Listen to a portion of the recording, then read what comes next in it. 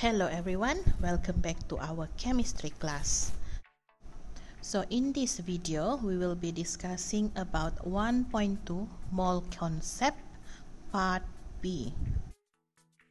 So today we will define the terms empirical and molecular formula and then we will determine the empirical and molecular formula from mass composition and combustion data. So let's take a look at definition of empirical formula and also molecular formula. Okay, as you can see there, empirical formula is a chemical formula that shows the simplest ratio of all element in a molecule. So keyword bagi empirical formula adalah simplest uh, ratio. Okay, next for molecular formula, it's a formula that shows the actual number of atoms of each element in a molecule. So untuk molecular formula, keyword dia adalah actual number.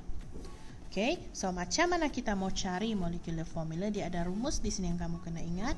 Molecular formula is equal to empirical formula N. Yang mana N adalah positive integer.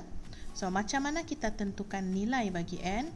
Guna rumus itulah n sama dengan molar mass bahagi dengan empirical formula mass. So this table shows some molecules with their respectively empirical formula, molecular formula and also the value of n.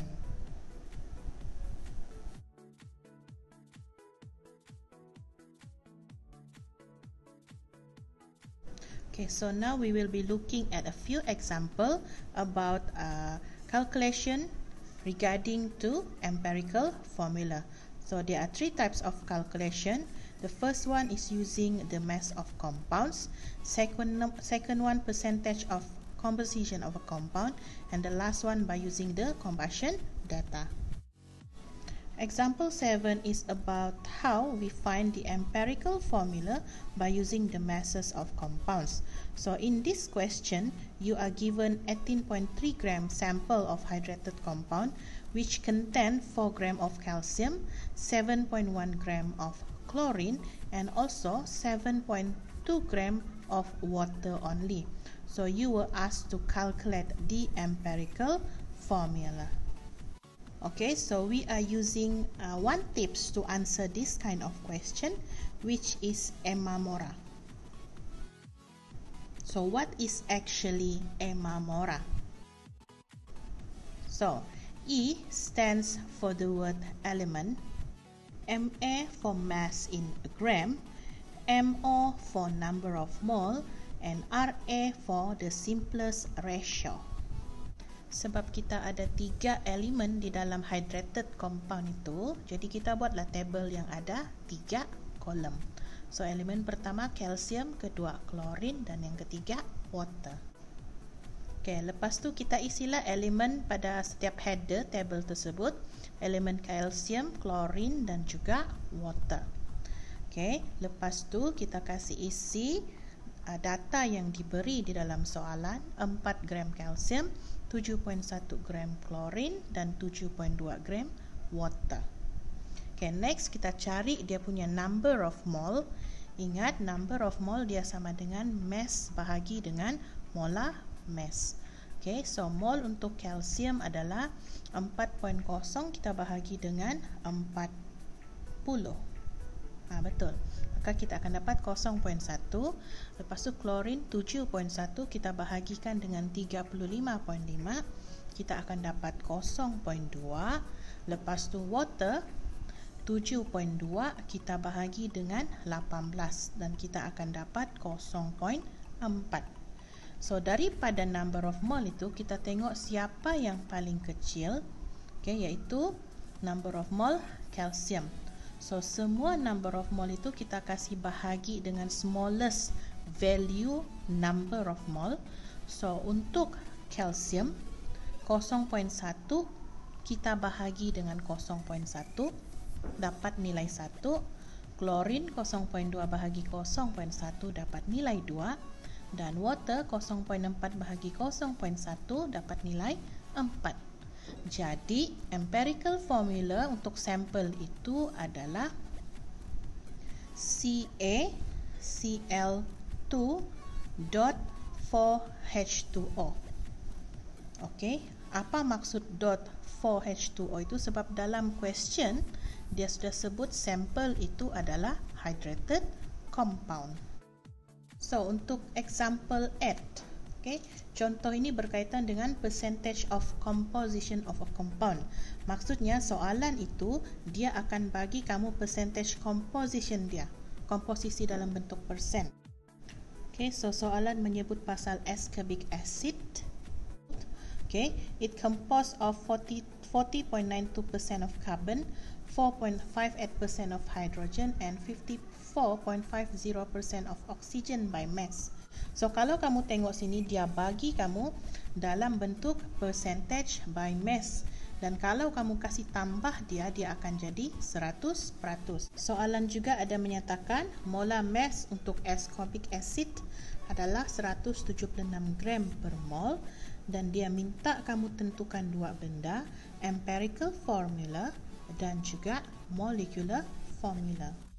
So untuk kita guna pakai tabel Emma Mora dalam menjawab soalan ini, okay, unit bagi setiap komposisi elemen itu hendaklah dalam unit gram.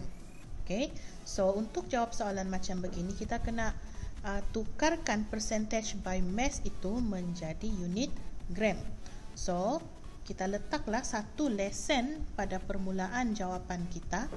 Okay, kita assume, okay assume the percent the mass of ascorbic acid adalah 100 gram. Kenapa kita pakai 100 gram? Sebab dia bagi percentage by mass 100%. Jadi senang kita mau kira. Tinggal kasih masuk dalam table sejak tidak payah buat kiraan tambahan lagi. So itu adalah lesson yang mesti kamu tulis untuk membenarkan kamu menggunakan percentage by mass itu di dalam calculation kamu bagi pengiraan empirical formula. So kita sediakanlah table Emma Mora kita, elemen mass mol dan juga simplest ratio. Masukkan tiga elemen yang terkandung dalam ascorbic acid serta dia punya GSIM Okey, lepas tu cari dia punya bilangan mol bagi setiap satu elemen.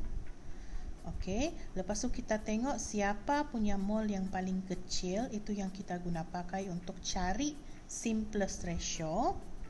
Okey, next kita akan dapatlah simplest ratio bagi setiap elemen. Okey. So kalau kita lihat di sana untuk H itu dia punya simplest ratio adalah 1.34. So hati-hati kalau kamu jumpa simplest ratio yang begini. So kita tidak boleh kasih bundar dia sembarangan ya. Jadi apa yang kamu boleh buat? Kamu coba kunun darab dengan dua setiap satunya. Kalau satu darab dua, semua mesti darab dua. So bila kamu darab dengan dua, dia masih lagi dapat 2.68 kita tidak boleh bundar dia pergi 3 dan kita tidak boleh bundar dia pergi 2.5 so kita cuba darab dengan 3 bagi setiap satunya so kita akan dapat 3 4.03 dan juga 3 so bila mana kamu dapat 4.03 kita boleh kasih bundar. Simplest ratio bagi hidrogen adalah 4 Okay, so makanya sekarang dia punya empirical formula adalah C3H4O3. Seterusnya kita mau cari molecular formula bagi ascorbic acid. Okay, so dia bagi kamu dia punya molar mass adalah 176 gram per mol. So kita cari nilai bagi N dulu. N sama dengan molar mass bahagi dengan empirical formula mass. Okey, so kita kasih ganti masuk molar mass adalah 176 gram per mol. Okey, dan empirical formula mass ingat tadi kita sudah jumpa empirical formula dia C3H4O3 ganti masuk dalam itu rumus. Okey, so selepas kamu ganti masuk dan kamu tekan kalkulator kamu, kamu akan dapat nilai N adalah sama dengan 2. Okay, so molecular formula dia sama dengan empirical formula dalam kurungan N. So kita kasih masuk sahaja empirical formula tadi C3H4O3 dan nilai N adalah 2 maka molecular formula adalah C6H8O6 Next untuk example number 9 kalau kamu diberikan combustion data ataupun nama lain dia adalah elemental data analysis.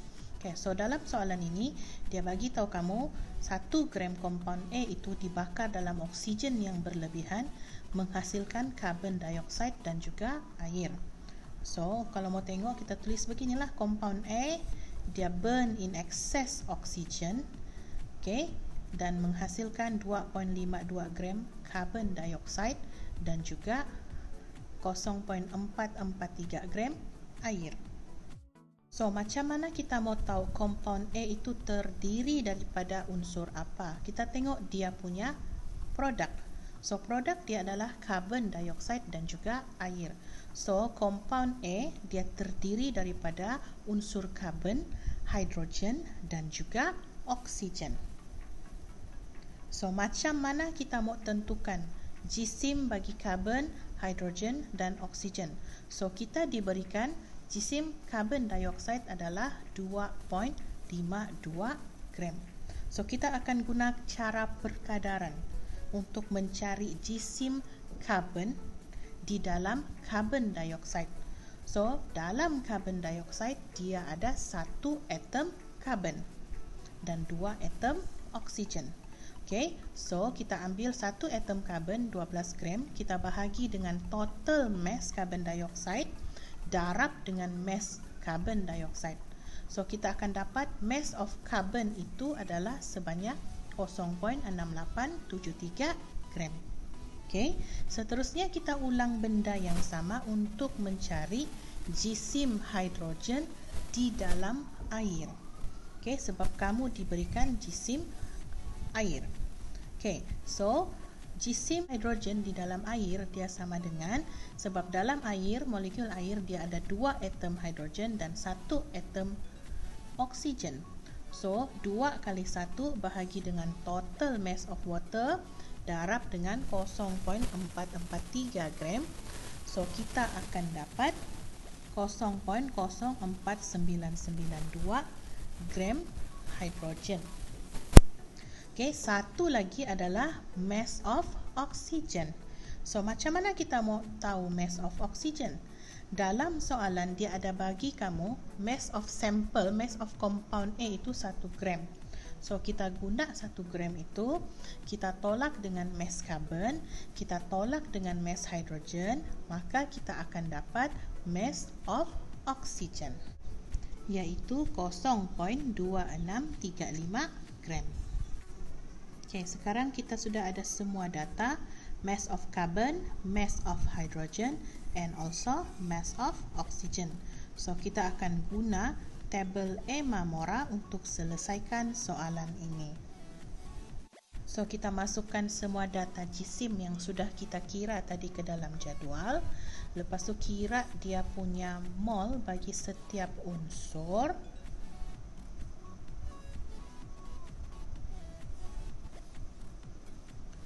Okay, and then selepas itu kita tentukan okay, siapa mempunyai nilai mol paling kecil untuk kita cari simplest ratio dia. Okay, so semua bilangan mol tu kita bahagikan dengan number of mol yang paling kecil. So kita akan dapat untuk carbon 3.477, hydrogen kamu akan dapat 2.988 dan untuk oksigen kamu akan dapat sebagai satu. Okey, so kita tengok untuk simplest ratio bagi carbon dan juga hydrogen.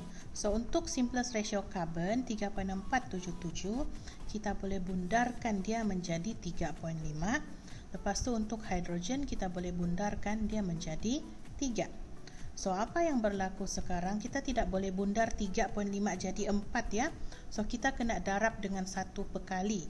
So kita pilih untuk darab dengan 2 supaya kita boleh dapat nombor bulat terus di, tuju, di situ 7. Okay. So kita akan dapat karbon dia 7, hidrogen dia 6 dan oksigen dia 2. Maka empirical formula dia adalah C7H6O2. So itu sahaja untuk video kali ini. So kita sudah habis dua learning outcomes. Define and determine empirical and also molecular formula.